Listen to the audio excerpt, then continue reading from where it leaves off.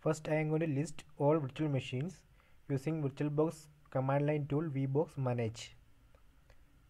So this vbox manage space list VMs this will list all the VMs so I am going to delete this VM so let me copy the ID then we can use this command VBoxManage un unregister VM then VM ID minus minus delete so here I am getting error. VBoxManage error cannot unregister un, un, unregister the machine while it is in locked so how to fix this issue? So we are getting this issue because this VM is still running.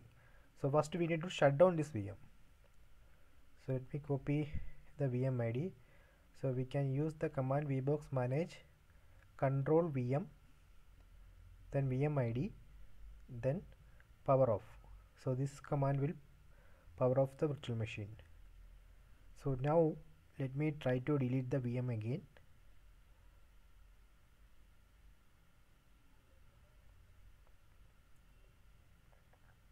See now it's deleting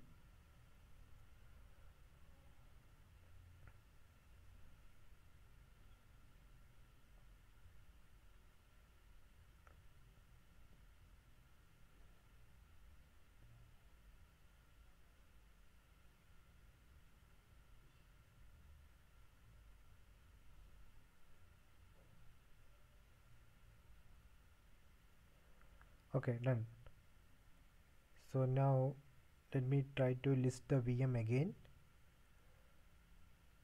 So let me list VMs so now in that list that VM is not there.